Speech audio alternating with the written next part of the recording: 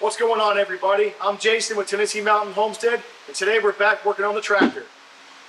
Last episode you saw we installed the MCP uh, brake caliper on the transmission and we also installed the master cylinder. So this episode if you notice we took the transmission out. We dropped it out. It's, it's bolted to this frame member on its own and it's free of the tractor because I had to modify this, this brake disc a little bit. If you remember in the previous episode when we installed this, this Go Power Sports disc, it worked great and everything. However, when it was all the way on the brake shaft here, for it to be in the in inside of the caliper kind of correctly, it didn't engage the, the keyway, which is right here, all the way. There was maybe about an eighth of an inch or so of the keyway sticking out. So what I did was, I went and got another hub for a one inch uh, keyed shaft from uh, a, a, tractor supply type store. And if you saw the shorts that we made, I'll put some uh, some clips of that happening. But we basically turned um, my Peerless A20 transmission into a, a, an improvised lathe. So we took that, that one inch keyed hub and I cut a piece off of it that would fill in that extra space on the shaft there. And I cut, I cut the center of it out where I have these, I got two more set screws. Got it all, got it all perfect, welded it up all the way around. Now I have extra hub thickness, extra keyway engagement, and now I have four set screws. So with that being said, we're to put this back on the transmission. We're to put the transmission back in the tractor. Oh, one more thing about that. We took this out because now that this brake caliper is hard lined with steel lines, it's not so easy just to take this thing out, but it's super easy to unbolt the transmission and just drop it out the bottom. So like I said, with that, we're gonna, the first thing we're gonna do is put this back on. We're gonna put the transmission back in the tractor and we're going to add brake fluid and we're going to bleed the, uh, bleed the brakes. We got the transmission back in the tractor. And if you look, ever since we did that modification, we added some of that hub length in here. I got four set screws, a keyway, and now where this uh, rotor used to be over to the over to, favored over to one side, now it's more or less centered in the caliper. So that way now when it turns, it don't touch nothing. It, don't, it doesn't rub on one side. So the next thing we're to do is start bleeding the brakes. Next, we're going to add fluid to the master cylinder. So Stefan has the Harbor Freight vacuum pump. He's got a, um, a vacuum pull on this thing right now. I'm going to go put some in the cylinder. I'm going to top it off and we're going to see what happens. After a lot of pumping on the, on the Harbor Freight vacuum pump, a lot of pumping on this pedal, a lot of bleeding and brake fluid all over the place, even though it wasn't supposed to be. I think we got it. So we got all the air out of the lines, and we got this deal this set up perfectly right now. So if you go under there, you can see, maybe you'll see the brake calipers squeezing on the disc. Feels good. Okay, brakes are bled. Now we're going to start reassembling this thing. My goal is to get all the engine, the belts, all that stuff back in. And then we need to figure out how the gas pedal is going to work. Once we have that established, we're going to do a little bit of preliminary wiring just to get this thing a circuit so it can run, put a little battery in there. Maybe we can test drive this thing finally. So, a few more minutes and we'll be back we got the mower all put back together. If you look in here, this is the, uh, the oil drain that I talked about. I ended up getting a 90 degree fitting from eBay. Comes off the back of the engine. I got a strap right here holding it so it can't flop around. And then all I would have to do is take off this cap right here and the oil should drain out. So, belt guide, pulley. We used grade 8 fasteners with locking nuts, nylon nuts to put the engine back in. Belt guide, brake, pedal. Couple things worth mentioning, guys. So I celebrated a little bit too quickly when I put the master cylinder on And then when I added the spring for the for the clutch lockout, for the factory clutch lockout lever, I ended up using holes that I had drilled for other things. No big deal, it worked out. The, the master cylinder and this belt brake now share one share a common hole. I got to get a longer bolt for that, but that's the 5 16 for the brake caliper right there. And I just had to end up drilling a new hole right here for the spring, for the for the locking lever for the clutch. Otherwise, come around here on this side. You can see the engine pulley and the guides. And you can see the master cylinder right here. That's it. So next, we're going to put this thing back down on all four wheels and we're going to get started routing the throttle cable and figure out a gas pedal. All right, it's been about three or four days since you last saw us. So it's been really hot out. We've done a lot of work off camera, but today we're going to catch up with you guys and show you what's going on in a minute. All right, so the first thing I did, I made some modifications to the brake. So you, I think you saw us mount the master cylinder last. And we used the factory brake pedal location and lever. I put a, a Heim joint on it, connected it to the master cylinder. So it felt really, we put the C-pan back on this thing and it felt really easy to push the pedal. So I added this spring here into the system and it gives it a little more of a, of a resistance feel. So it feels more like an actual brake pedal. The next thing we did was we added the throttle cable. So this connects to the top of the carburetor, it connects to the slide. And I routed it down. I use these little aluminum clips from Home Depot for cable. Routes down, it runs along the top of the frame rail right here with clips and it comes up around underneath and here's the end of it. And it goes to this pedal right here. Now, I know this pedal is extremely ugly because it's not going to be permanent. We're putting this on here because I really need to get this thing started up and I really need to drive it around and test the clutch system, make sure it's good because we've totally fabricated that. And this pedal's in a, in a kind of a bad spot and it's ugly. I had to hack the floor pan up. But here's what's going on in the future. We're gonna cut these floor pans out. We're gonna cut these feet wells out of them and we're gonna come off the we're gonna come off the, the, the frame with tubing and make like big, you know, with plenty of room for your feet, stands with expanded metal and all that, so you can stand up on them like an ATV or whatever, something like that. So these are gonna go away. This this uh, gas pedal's temporary. So the next thing I've done is I added the fuel system. If you look right here, I got a 12 volt fuel pump. And the gas tank's gonna sit right on here. We're using the stock gas tank and it's going to have a valve and it's going to connect to this hose right here. That's going to go right up into the fuel tank. So the fuel line, if you come around this way,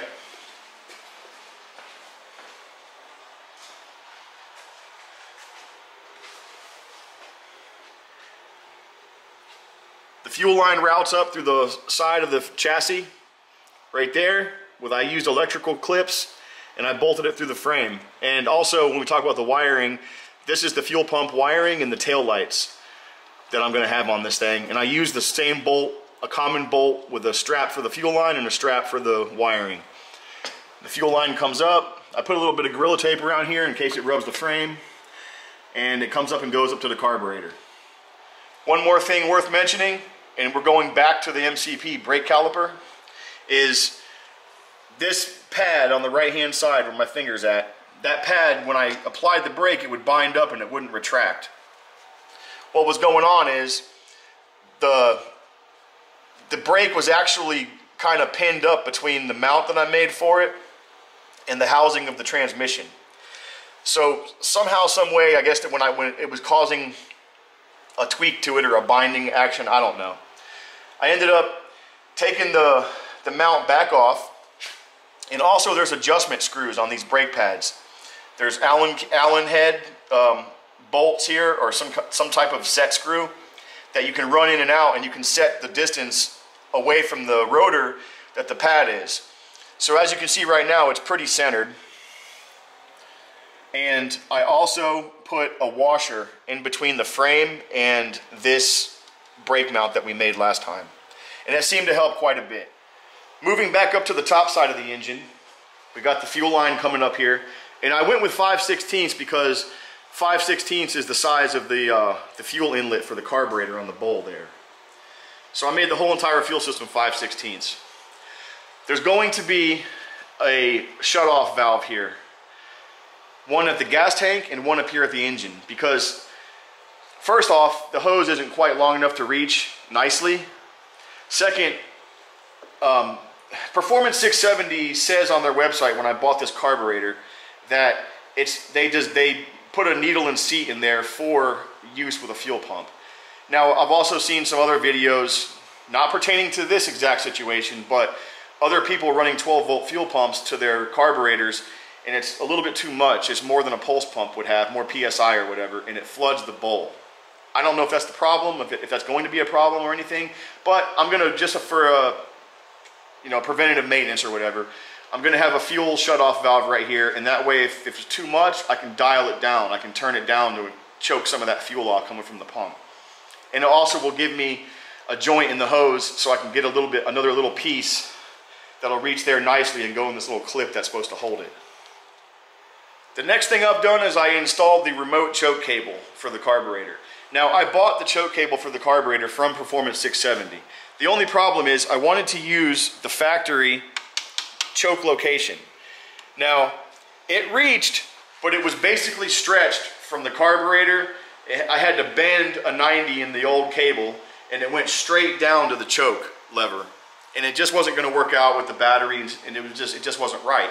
So I had another throttle cable laying around and it was like a 70 inch one that I had gotten from, I think, Go Power Sports. But I ended up cannibalizing the pieces from the Go, from the Performance 670 kit, the choke cable they sent. It was this piece, this threaded piece right here.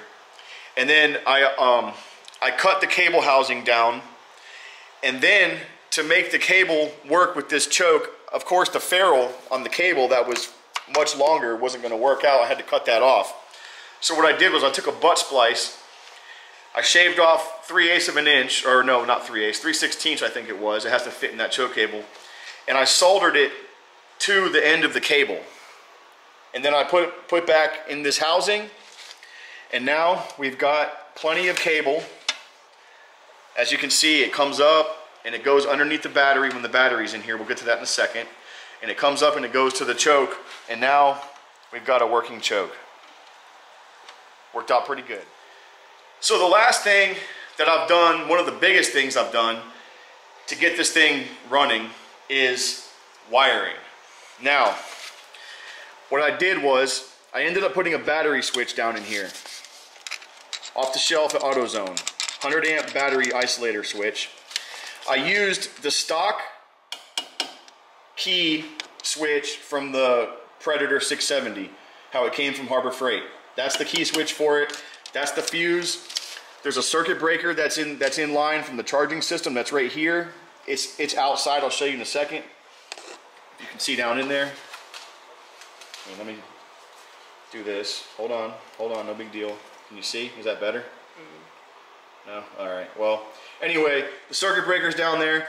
I added a common negative negative point for all my negative wires to land on. That's right here. This came, this goes to an electrical panel. Got a ton of those on my truck. Come over here on the outside. So this is where the variator used to be. The variator arm that controlled all that pulley stuff in there. So this here is the circuit breaker. That's in one of the stock holes that held the variator in. That's the circuit breaker from the Harbor Freight uh, 670 platform. This here is the battery key switch. And there's a, a red key goes in there and you turn that. And then all these other holes that were in this, well, this is these screws are for the negative ground plate that I have in there. A couple screws, some of this stuff, and come, come around back over here. So for power distribution, I could not find a fuse block on the shelf at any of the auto parts stores in town. So I ended up getting this, this common bus. So I've got my bus feeds right off the secondary side of the battery switch. This is this feeds a common bus And all each one of these red wires just comes off of that bus and it goes through this little fuse block. It's a little, I think it's a five circuit or a six circuit fuse block. And this little, has this little plastic cover. So right now I've got a fuel pump, I've got headlights, and I've got my voltmeter. That's the three circuits I'm running right now. And those circuits just come off the other side, come up in this mess that I've made of this wiring, and it goes to my individual switches. So there's my factory headlight switch right here. It still works, I left it alone. I changed out the PTO switch and I put in a regular 20 amp single pole switch for the fuel pump. Here's my tachometer. I mean, I'm sorry, my voltmeter, excuse me. And then the choke lever's down here. So with that, pretty much concludes our wiring. Here's my negative battery cable. This goes down to the frame right here. I got it bolted down here to the frame. And here's my positive battery cable. So one of the most exciting things I've done besides the wiring is I got an actual car battery and it fits in here pretty well. I was gonna go ahead and just get a $62 350 cranking amp uh, lawn battery like we normally would use. There was a car battery in this thing when I got it from the junkyard. I don't think it was supposed to be in there, but there was a big car battery in this. Anyway, I got a medium-sized car battery. It's not a full size because it was just too big. But anyways, you can see it there. So what I did yesterday was I built this battery tray for it. Right here. And the battery sits on this steering column support, I guess you would say this piece of steel is. It supports the steering column and it supports the steering box down lower. So I, I made this out of sheet metal. I, it already had this, this side was already folded up. It had this shape on it already. It was pieced to an electrical panel. And then what I did was I cut the sides out a little bit bigger, put it in the vise, and I bent the sides up to give it more rigidity. Now I want the battery to sit up against the back of this, so I didn't put a I didn't put a, a, a bend on this side. I left it I left it open, so that way water can drain off of it or whatever, and the battery's going to sit up against this thing. Anyway, I drilled out four quarter twenty, and I, I, I bought a countersink, and I countersunk the sheet metal and then I also had to countersink the steel that it screwed to. So these screws would sit down in there nice and flush. And uh, that's the battery tray. So we're gonna put the battery in it and show you what's happening. What's, uh, so one more thing we're gonna do before we put the battery in that tray is the boys and mama, now the boys said it was okay. Look here, this came out from under the kitchen cabinets. They said that you never use this one. It's a silicone cooking sheet and we cut a knife. It's really tacky and it's sticky and it's it's just perfect. And I don't want the battery just grinding away on the paint there on that thing and, and the screw heads or whatever. They don't really protrude, but I figured this would be nice. and It would give it a nice surface and it's you can't even slide it on this on the on the wood. It's it's kind of tacky and sticky, but it's not sticky. It's just got a lot of friction. So we're gonna place that in the battery tray first and it'll give the battery a nice soft so you put it in here I can't even slide it on this. A nice soft surface to sit on there.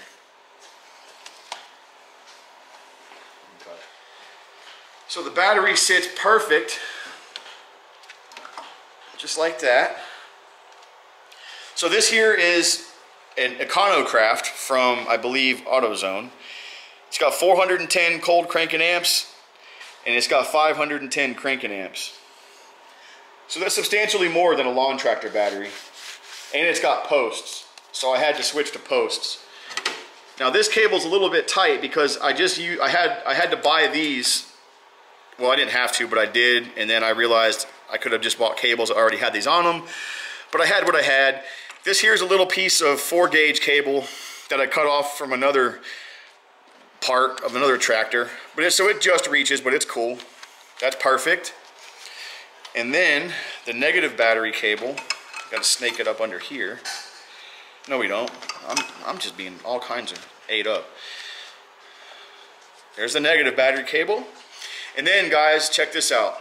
I, I fabricated this out of aluminum bar stock yesterday. Is my battery hold down. What it, what happens here is I just bent a little offset to come off of the side of the whatever this is called, the battery box, the enclosure for the goodies, and I bent a little offset in this stuff. I think I think it's eighth inch thick aluminum by one inch wide. Bent a 90. Obviously, you can see what I did. I did it on both sides, and then when you put a, a quarter 20 bolt in here and just snug it up nice, it holds this battery super super super stiff in there. Like you can shake the whole tractor, the battery don't move. So that's it, guys. That's the battery, the wiring, the choke, the throttle cable, the brakes, the fuel pump. We're so close to getting this tractor um, to be able to start it up. The one thing I'm missing right now, and I'm going to do it today, that's the point of this video next, is the exhaust. Now the I can't just test it with the with the stock exhaust because it just doesn't fit on here. It, it hits hits up against the sheet metal here and it's also pointing directly back at me. And I'm not going to be using it anyway, so today's the day that we're going to start fabricating. Come over here, check this out.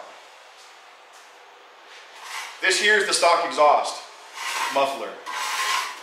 I don't have, and this is happening in real time, I don't have any kind of the kit from eBay. I didn't spend them 44 or 50 bucks or whatever it is for the pre-bet mandrel pieces and all that. I just didn't do it. So what I'm going to do is I'm going to use the stock exhaust flanges on this muffler.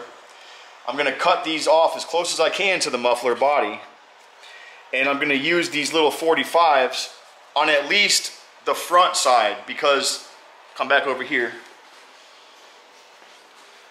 Hey, Ethan, hand me that muffler. So here's the back exhaust port. I got shirt pieces of rag stuffed in them so nothing gets in there. And here's the muffler I got from eBay. It's a motorcycle muffler.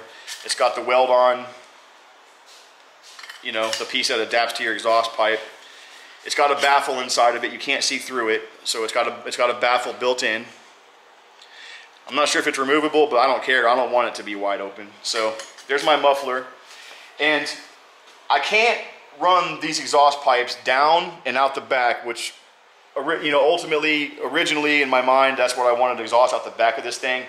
It's just not going to work out with the belt system, with every, how tight everything is, all the stuff going on underneath it, the clutch, all that stuff is just too much.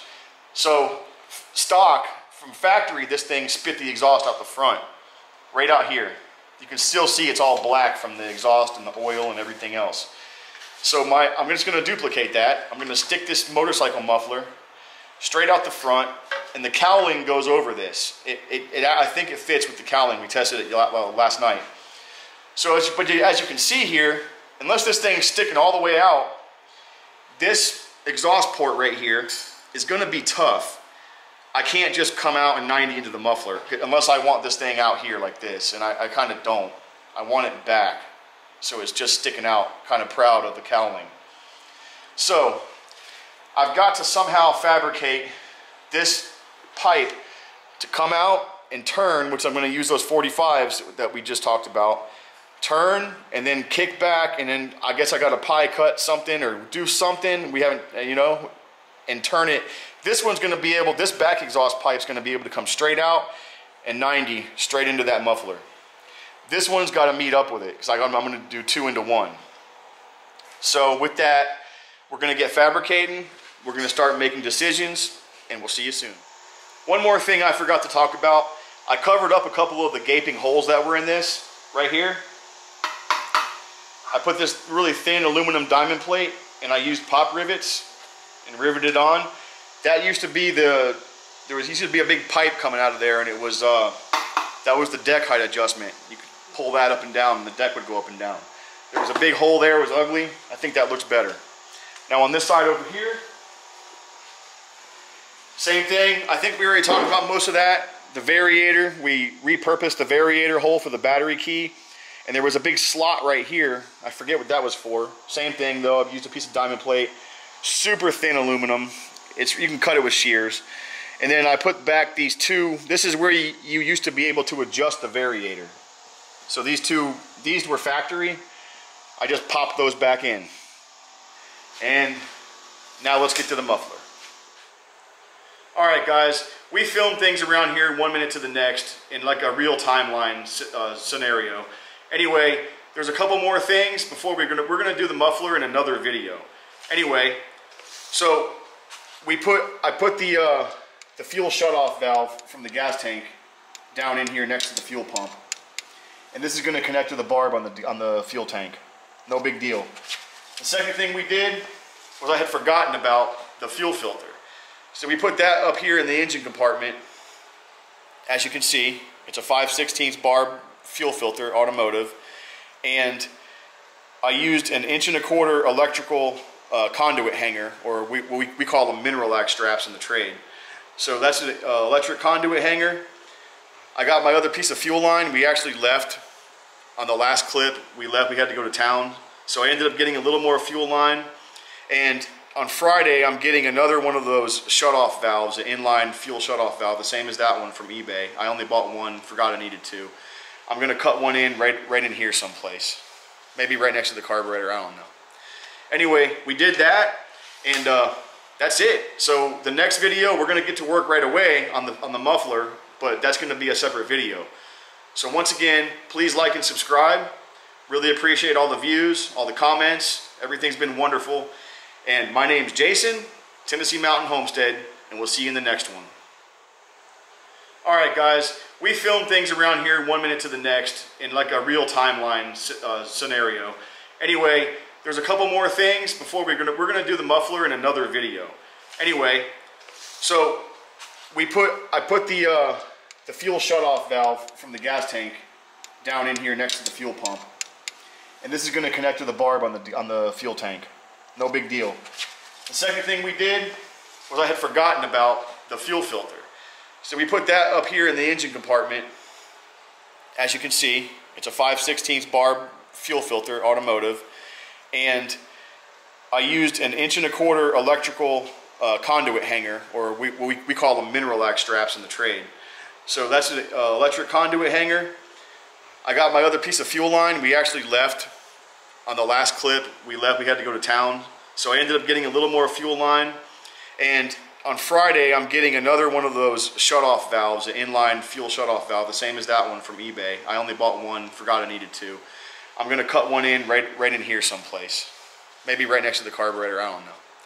Anyway, we did that, and uh, that's it. So the next video, we're gonna get to work right away on the, on the muffler, but that's gonna be a separate video. So once again, please like and subscribe. Really appreciate all the views, all the comments. Everything's been wonderful. And my name's Jason, Tennessee Mountain Homestead, and we'll see you in the next one.